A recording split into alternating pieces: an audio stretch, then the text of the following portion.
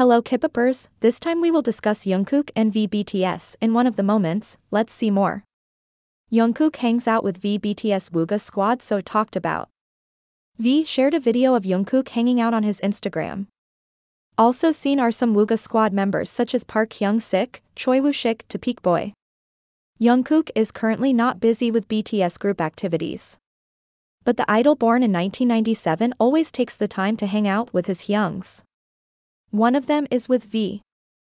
Through a video uploaded by V on Instagram on Sunday, 5 14th, the two BTS members appeared to be hanging out together. Interestingly, several Wooga squad members such as Park Hyung-sik, Choi Woo-shik and Peak Boy were also seen. The video uploaded by V shows the handsome boys walking on the side of the road. Judging from the costumes they wear, it looks like Jungkook CS hung out together after seeing the screening of Park Seo-joon's new movie titled A Dream. The video of Jungkook hanging out with the V-gang immediately became the talk of South Korean netizens.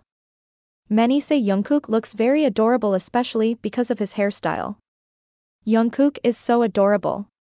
He looks like a puppy, wrote one netizen. Very pretty. Jungkook looks very pretty.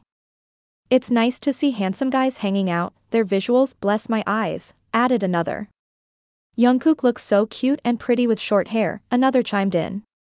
He looks like a rock star with that hairstyle.